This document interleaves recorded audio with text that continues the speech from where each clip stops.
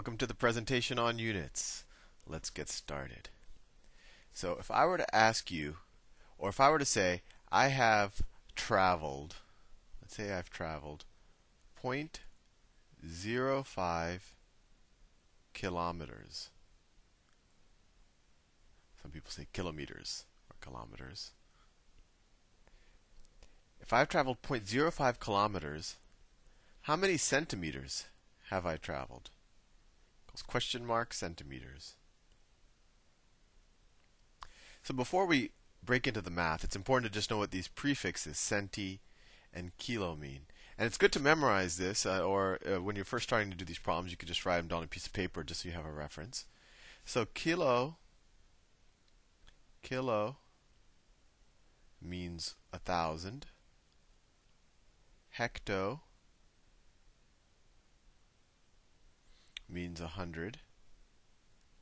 Deca means ten. You might recognize that from decade, ten years. And then, of course, you have no prefix means one. No prefix. No prefix equals one. Deci is equal to 0.1 or one tenth. Centi I keep changing between cases. Centi is equal to 0.01 or 1 over 100. And then milli is equal to 0.001, and that's the same thing as 1 over 1,000.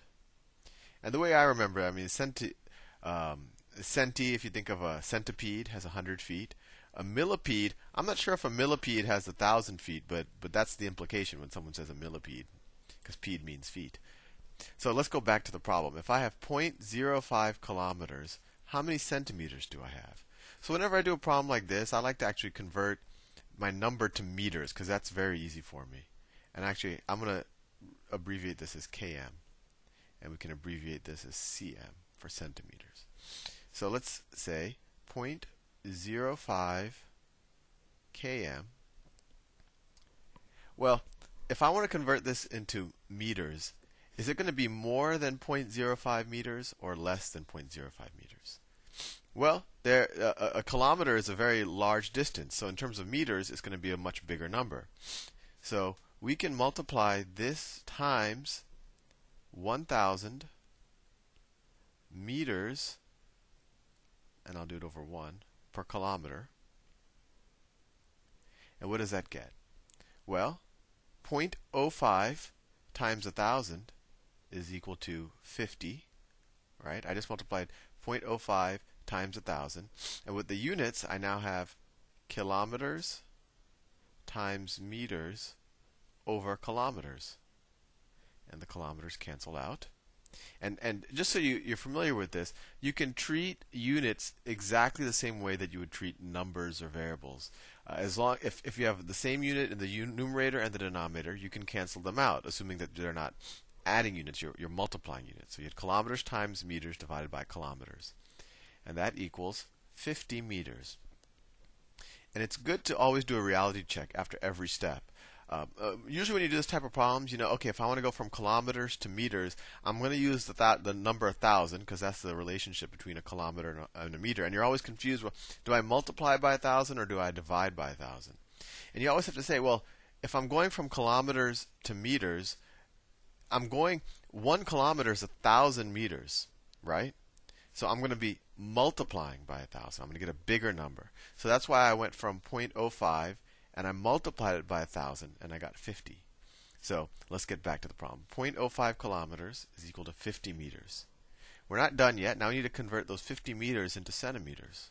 Well, we can do the same thing.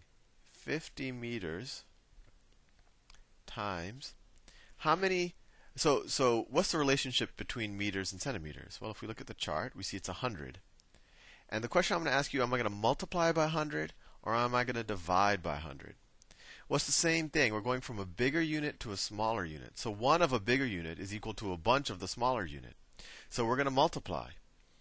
So we say times 100 centimeters per meter. Right? And that just makes sense. There's 100 centimeters per meter. So 50 meters times 100 centimeters per meter is equal to 50 times 100 is 5,000. 5,000. And then the meters cancel out, and you get centimeters. So we have here is 0.05 kilometers is equal is equal to 5,000 centimeters. Let's do another problem. I think the more examples you see, it'll make a little bit more sense. And always try to visualize what we're doing, the scale. Otherwise, it's very confusing whether you should uh, multiply or divide. Let's say I have 422 decigrams.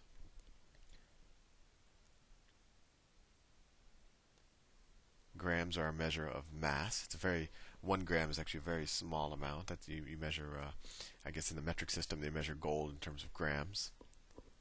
And I want to convert this into milligrams. So before we start the problem, let's just do a reality check. Am I going from a bigger unit to a smaller unit or a small unit to a bigger unit? Well, decigrams, that's that's one tenth of a gram. And I'm going to one one thousandth of a gram. So there's two ways of doing this. We can convert to grams and then convert to the other unit. That sometimes makes things easy. Or we could say, well, how many milligrams is equal to one decigram? Well, a milligram, as we see here, is a hundred times smaller, right? To go from one tenth to one over a thousand, you have to decrease in size by 100. So we could just say 422 decigrams times 100 milligrams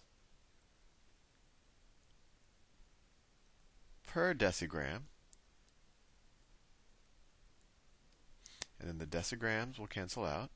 And I'll get, was it 422 times 100? That's 42,200 milligrams.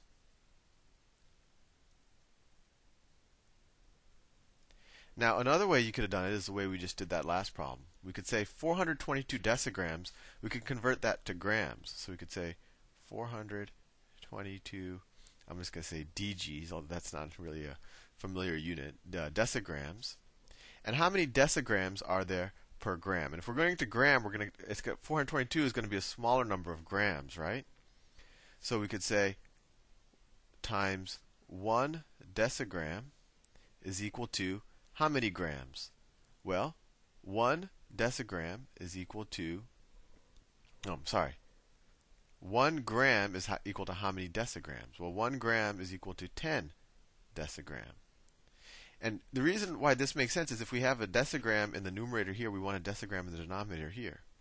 So if we have decigrams cancel out, so 422 decigrams will equal that divided by 10 is equal to 42.2 grams. And now we could just go from grams to milligrams. Well, that's an easy one.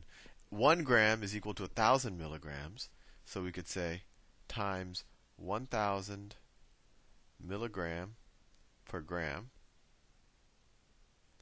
The grams cancel out, and we're left with 42,200 milligrams. Right? 42.2 times 1,000. Hopefully that doesn't confuse you too much. The important thing is to always take a step back and really visualize and think about should I be getting a larger number or a smaller number than the one I started off with.